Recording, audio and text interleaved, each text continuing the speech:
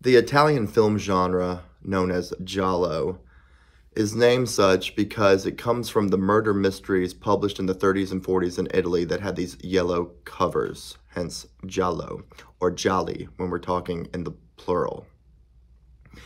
And there's um, three films in particular, Don't Torture a Duckling, Who Saw Her Die, and What Have They Done with Solange, where there is a mistrust of religion. First of all, these films are what we would call proto-slashers. Mario Bava's film, The Girl Who Knew Too Much from the mid-60s, is considered the first Giallo, and Dario Argento's Bird with the Crystal Plumage from 1970 is the film that really cements all the tropes that will carry on through the 70s and into the early 80s. But it wasn't until I read Michael Mackenzie's thesis gender, genre, and sociocultural change in the Giallo that I realized what was going on, at least unconsciously, with the filmmakers who were creating these movies.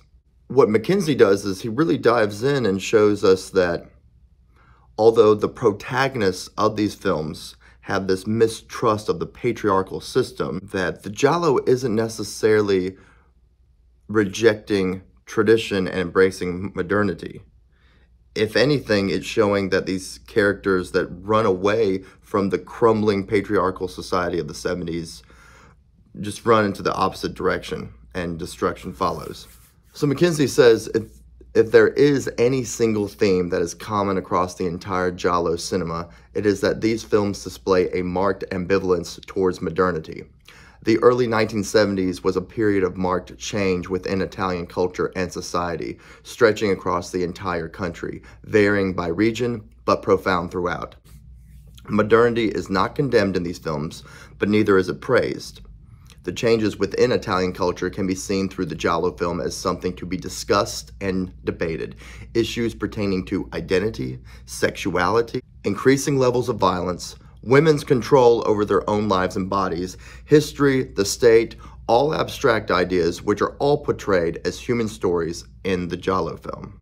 Mackenzie goes on to write, all of this cultivates an image of a well-traveled, cultured, and educated, but troubled and rootless individual who travels from place to place, dabbling in the arts and soaking up local culture experiencing la dolce vita, as it were. But, as Mackenzie goes on to demonstrate, deeply conflicted about his identity and his place within the world.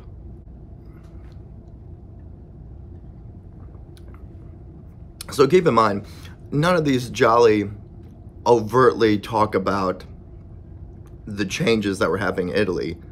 But at the same time, as is the case with What Have They Done with Solange, back alley abortions are part of the plot, part of um, why this killer is taking revenge. It doesn't take much, especially once you read Mackenzie's thesis, to see that unconsciously the men who are writing these films, as well as the women actors they're collaborating with, are processing these rapid changes.